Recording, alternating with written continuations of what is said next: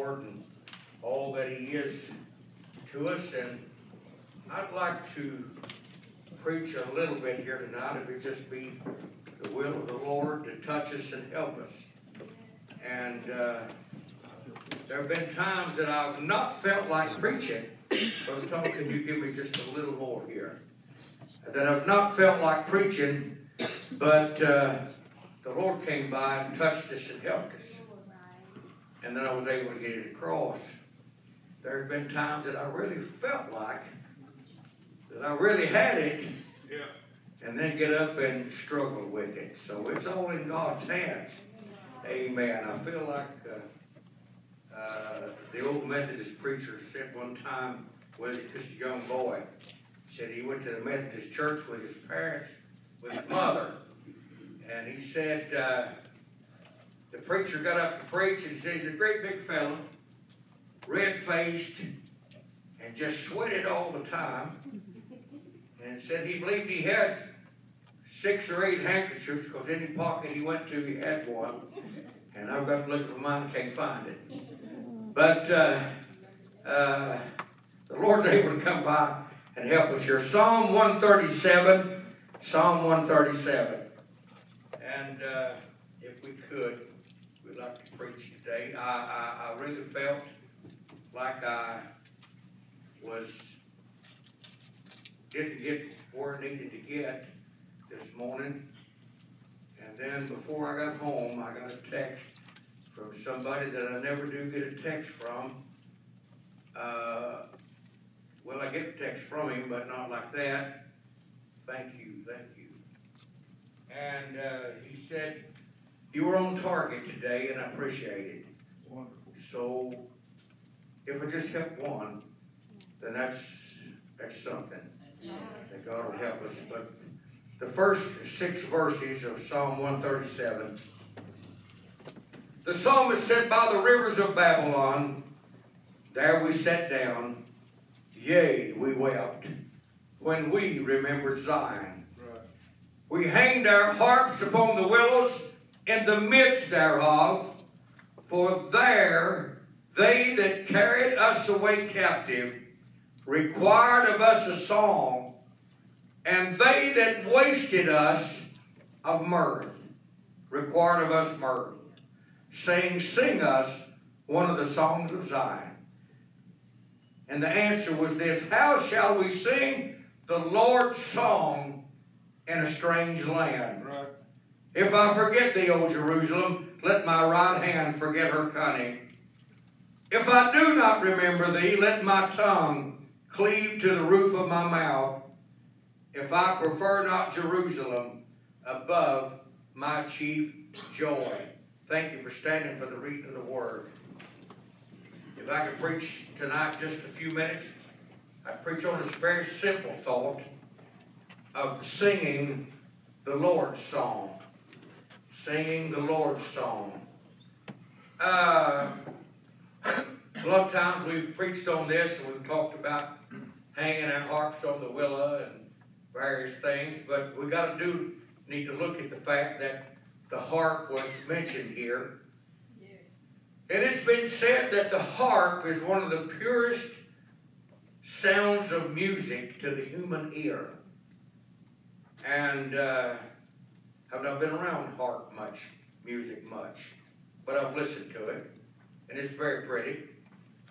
But it's probably one of the oldest instruments that's recorded in the scripture because we can find that all the way back in one of Noah's descendants, a fellow by the name of Jubal invented the harp and music.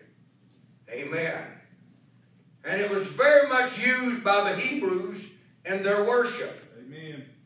And so music from the harp in David's time was what trouble was what soothed Saul's troubled soul. Right.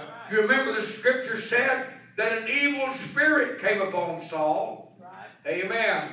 And uh, the music from that anointed singer and that anointed player, musician, amen, it soothed his troubled spirit. Amen. Hallelujah. Now, while Judah was in captivity, here in this uh, uh, text, the harps, they said, was hanging on the willows. Now, you stop think about that for a few minutes. And uh, if that uh, instrument was anything at all, it was much too valuable to have been hanging on a willow branch. All right. Much, much too valuable to have been hanging up there, just out there in the wind, blowing and moving it around. Perhaps if the wind was blowing just right and got in those strings as it was moving back and forth, moving back and forth, you could probably hear an eerie sound coming from those strings. Maybe a very mournful sound. Amen. Hallelujah. But you have these times, you and I will have these times when nothing goes right.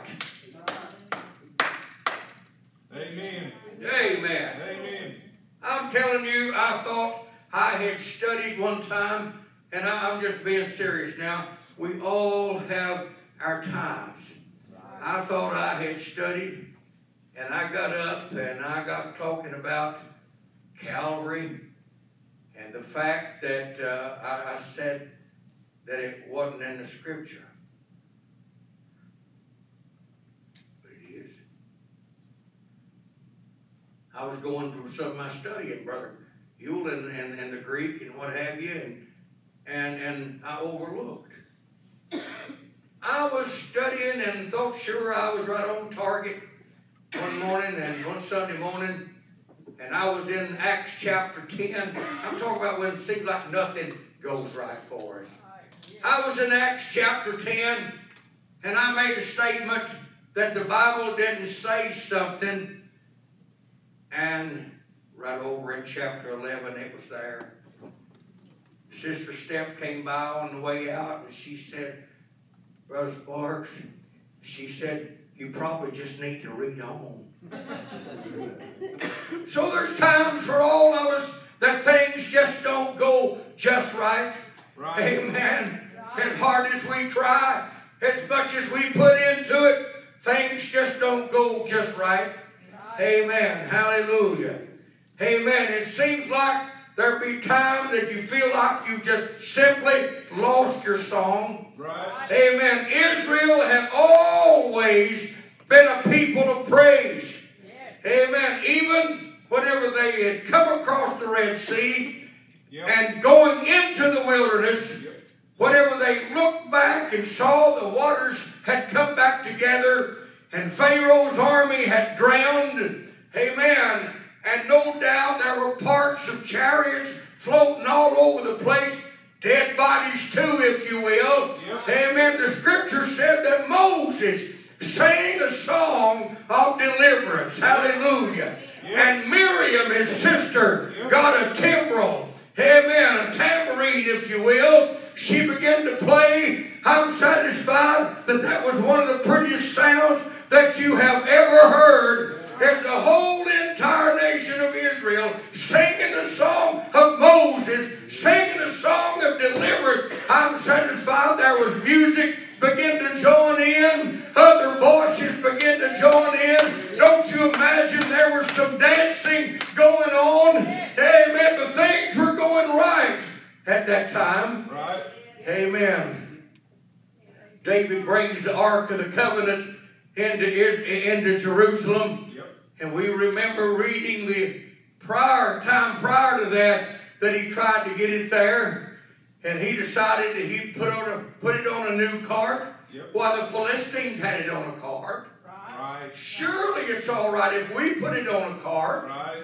But you see, the Philistines didn't know any better. Right. Amen. But God's people had a had a God had a plan for His people. God had a plan for the way that that thing should be moved. Right. Amen. Put some put some poles through the loops and the sides of it Amen. Go so many steps. Stop, offer sacrifice, praise, amen, pick it back up, go so many steps, amen, not haul it the way the heathen do, haul it the way God says. Amen, I'm telling you, God still got a plan for his people.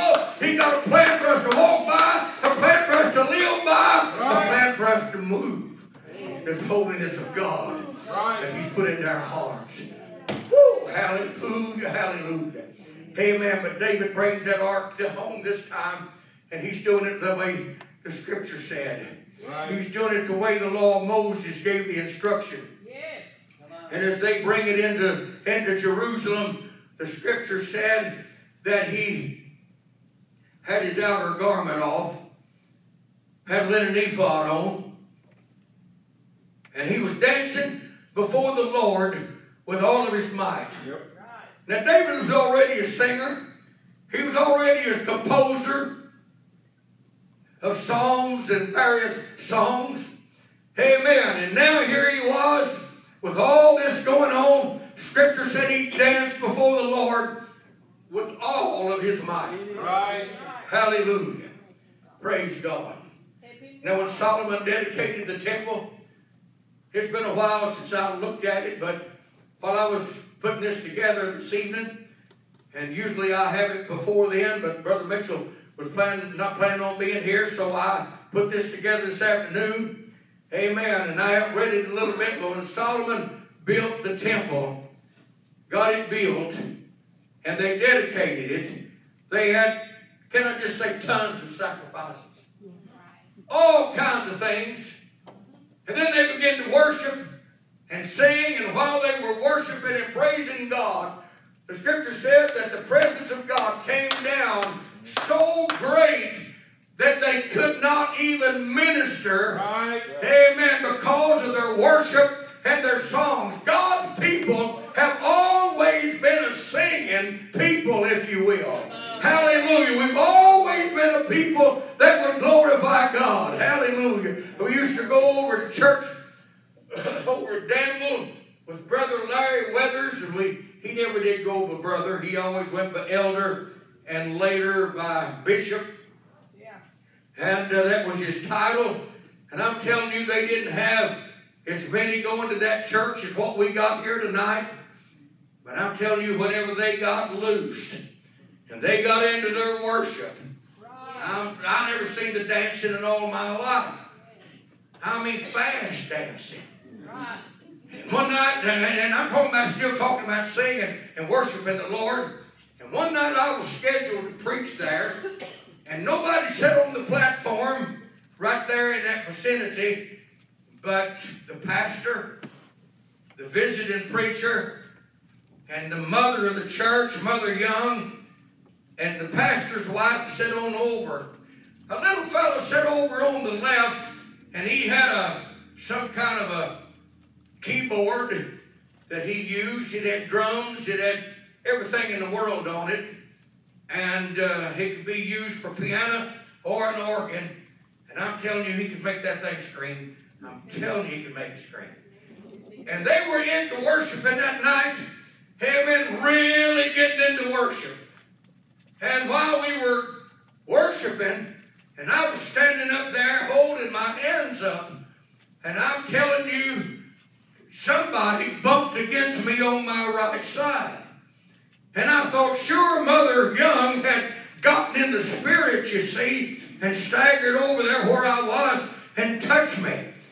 Amen. But when I looked around, she was sitting in her seat. She was an elderly lady. The pastor was still standing on my left. She was on her right, on my right. And I begin to think of that song, Glory, Glory, Glory. Somebody touched me. It must have been the hand of the Lord. And amen. I got so excited. I began to dance and worship. Now they were different from us. If they you dance, they want you to get down on the hardwood, down on the dance floor. That's what they called it. And so I got to dancing and got beside myself. Elder Weathers got me a hold of the elbow and led me down on the dance floor, and we danced together. Let me tell you something. Amen. God's people have always been a people to worship God. I'm not to be like it now. Well, glory to God. We've always been a people, amen, to let God have his way in our lives. Oh, glory. Woo, hallelujah. Hallelujah. Hallelujah. Oh, glory. Praise God. Sister, if you ever do some interpreting, here, I'll have to slow down. Praise God. Oh, glory. Hallelujah. Praise God. I'm going to tell you something. The Babylonians, the Babylonians knew that those people, that God's people had a reputation for singing. Those Babylonians knew that God's people had a reputation for worship. And now here they were down in a strange land and they weren't able to sing. Right. They weren't able to worship. Right. Their hearts were wasting away. Can I tell you that somebody wants you to live up to your reputation? Oh, I feel the glory of God here. Somebody wants you to live up to your reputation. What God's called you to do. Amen. To step out for the glory, His glory, and let Him have His way in your life. Amen. Don't you know that the world is stunned? Amen. When they enter into our churches and the presence of God begins to move and you can feel the glory in the song service. Amen. You've heard me say this so many times. I was at a camp meeting one time and I heard the moderator get up and he was the pastor of the church, but he was also moderating the camp meeting. And he said, This church is geared for preaching. Boy, I thought that sounded good. Amen. Everybody ought to like good anointed preaching. Amen. Brother, I picked up on that. This church is geared for preaching. And then one night, I had a nosedive. I wasn't preaching like I thought I was. I didn't get anointed that night. Says Paul, if had been some anointed singing among us, wouldn't have been anything. Are you helping me here for a few minutes? Amen. Thank God for anointed preaching. But I'm going to tell you, thank God for anointed singing. Right. Amen. So people who will lift up their voices to God and say, God, I'm offering my praises back to you tonight. Amen. That stuns the world when they come in and they can, be, they can see that and feel that. Amen. Oh, hallelujah. Praise him with a song. The psalmist said, praise him with the harp. Praise him with the cymbals. Praise him with the high sounding cymbals, he said. Praise him on the stringed instruments. I had a fellow tell me one time he wanted to debate with me. And I was just a young Christian. And I felt the call to preach, but I wouldn't studied it all. And if somebody had been moderating the debate, I would have lost. He'd been to Bible school, he'd been taught what he what he was teaching and and, and, and was well versed in it. And he said, over in the Old Testament, they have music. And then in the New Testament, he said, I don't read anywhere in the New Testament churches that they had any music. He said that we were instructed by Paul to make melody in our hearts, sing and make melody in our hearts. And so nowhere in the New Testament, but I did say this. I got this in, I felt like he's pretty good. I should have been kicked for even been there talking to him. There's no business debating people.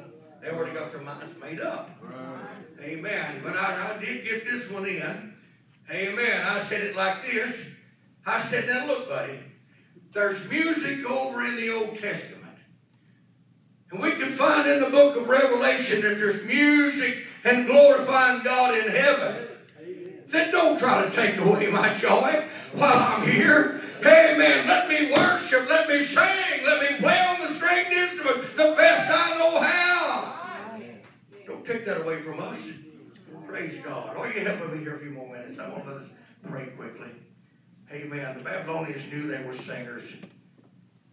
We need to do what we're best known to be doing. Amen. Praise Him. Praise Him. Praise Him for everything that we've got in us. The Babylonians wanted to hear a song about God. But I'm going to tell you, sometimes we do run into those strange lands, don't we? Amen. Strange circumstances. Paul and Silas being whipped and in prison. Yep. sometimes it, it's almost mind boggling. I've been scorned and had my feelings hurt. Oh God, I don't think I'm gonna get past it. They got the tire beat out of them. They had blood places running on them, brother. And about midnight, they begin to sing the praises to God. Hallelujah. Hallelujah. Earthquake came. I heard a I heard a CD. No, it's an eight track tape, not eight track, but a cassette tape. I'll get around to it. Cassette tape back several years ago. Oh, an old black preacher, a Pentecostal preacher. And he got to preaching about Paul and Silas, and he said they began to sing. And he said, you know, they didn't have no music down in that place. But they began to sing and they got God happy up there in heaven. And he said, when God got happy, got to patting his foot, amen, an earthquake happened, and they got loose from there. Let me tell you something. We ought to get heaven happy every now and then. When heaven gets happy, we're happy all over. Hallelujah. Hallelujah. Unusual circumstances. The children get in trouble. Homes are in trouble. Financial problems. I've been there. I've been there. We've been there where we didn't know where what we was going to do next. I don't. I'm. I'm. I'm, lingering along with with me a little bit. I was talking about, but it was saying in a strange land. The Lord spoke to me and told me to quit the job that I had. It didn't pay a lot, but it had a paycheck every two weeks. Every two weeks. And I quit. And I think that at that time, back in 1989, the church here was giving us about $50 a week.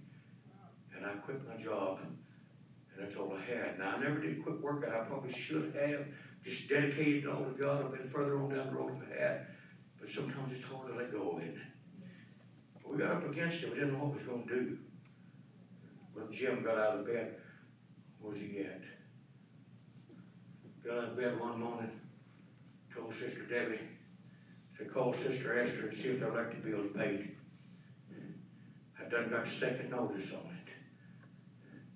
I went by and done that. Another lady in the church had a dream and she called Sister Esther and she said, I had a dream that your clothes is dirty.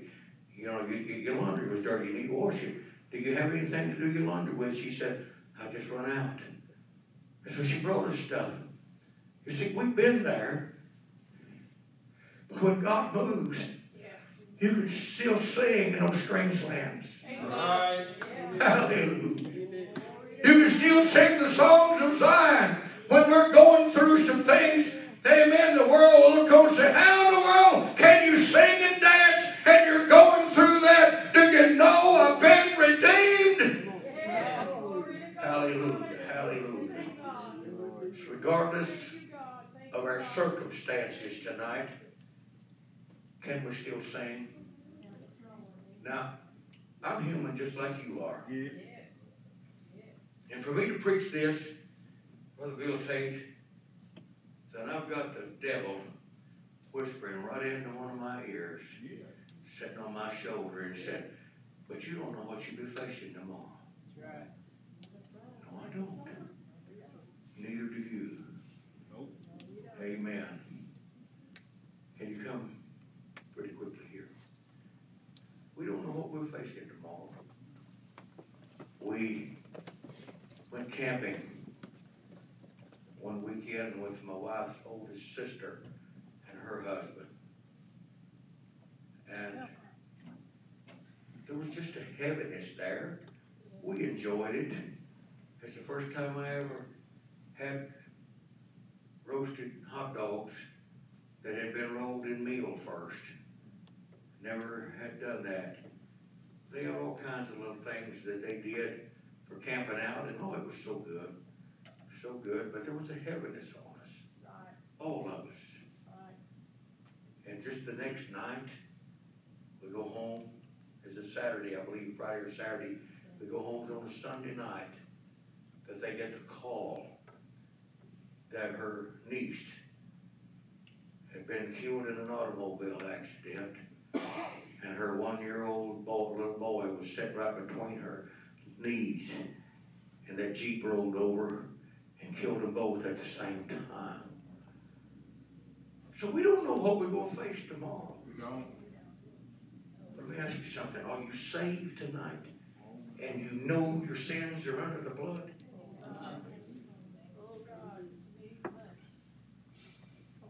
Now, we mourned and we wept. And we had a difficult time, Sister Pauline. We had a tough time.